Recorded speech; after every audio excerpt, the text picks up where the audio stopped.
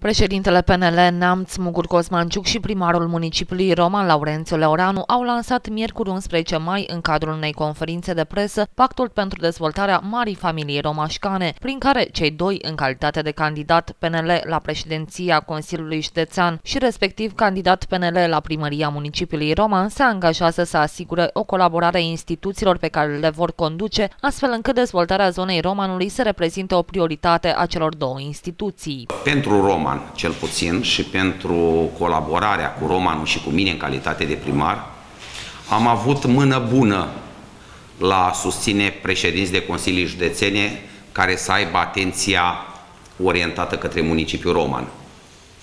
Și dacă vorbesc în 2008-2012 de domnul profesor Vasile Proteanu, cu care mă bucur că ne-am regăsit acum în echipa liberală, am făcut lucruri frumoase și lucruri importante aici la Roman, mergând inclusiv de la achiziția unui corp de clădire pentru Muzeul de Istorie Casa Falcoianu, care era revendicată și era o sumă destul de importantă de 10 miliarde de lei pe care Consiliul Județean a avut disponibilitatea să o aloce.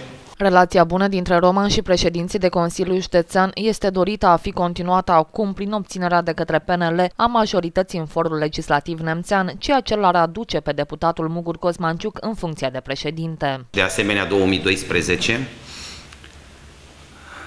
până nu de mult, domnul președinte Culiță Tărâță, cu care de asemenea am avut o relație foarte bună, am putut colabora foarte bine, a asigurat continuarea lucrărilor în municipiul Roman, a asigurat fonduri pentru dezvoltarea spitalului municipal de urgență, modernizare de secții, schimbarea lifturilor, anvelopare termică, lucrări la unități școlare. Deci eu pot să spun că am avut mână bună la susținerea președinților de Consilii Județene. De asemenea vreau să vă spun că Romanul a contat enorm în uh, matematica electorală din 2008 și 2012 pentru desemnarea președintelui Consiliului Județean. Primarul Laurențiu Leoreanu spune că are încredere în colegul său, deputatul Mugur Cosmanciuc, că va obține șefia Consiliului Județean și va ajuta din această funcție cu fonduri municipiul Roman. Astăzi uh, recomand cu toată deschiderea pe domnul Mugur Cosmanciuc pentru președinte al Consiliului Județean, pentru că ne cunoaștem de o perioadă destul de bună de timp în care să ne putem da seama ce fel de oameni suntem. Și cred că activitatea și colaborarea noastră trebuie să se bazeze cel puțin pe două componente, seriozitate și ținere de cuvânt. Aceste lucruri uh, s-au întâmplat și uh, s-au verificat în mai multe activități ale noastre. Între Roman și Neamț s-a semnat un pact de susținere, mai ales că Romanul contribuie cu mare parte din PIB-ul județului. Ne-am propus să semnăm împreună un pact de dezvoltare a municipiului Roman legat de susținerea Consiliului Județean. Am spus-o mereu, municipiul Roman este o localitate foarte importantă a județului Neamț, nu că celelalte n-ar fi. Fiecare localitate are importanța sa, dar ținând cont că în economia PIB-ului județean, municipiul Roman asigură 55%, eu cred că spune foarte mult despre economia acestui județ, despre ponderea municipiului Roman în acest județ. Președintele PNL Neamț, Mugur Cosmanciuc, a precizat că dezvoltarea județului Neamț depinde implicit și de dezvoltarea zonei Romanului. Cere în care a subliniat, cred că, două elemente de bază al oricărei colaborări, indiferent că este de prietenie sau între două instituții seriozitatea și cuvântul.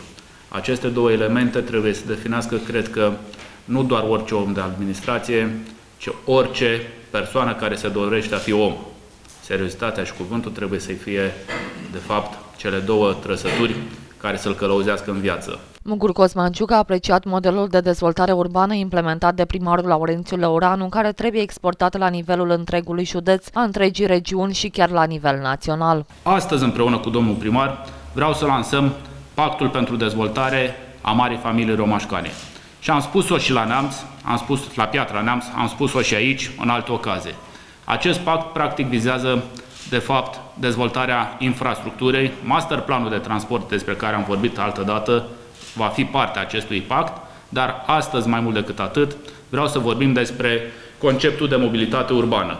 Concept pe care Romanul l-a dezvoltat și l-a aplicat fără ca să aibă foarte multe recomandări din partea Uniunii Europene sau din partea factorilor și vectorilor politici.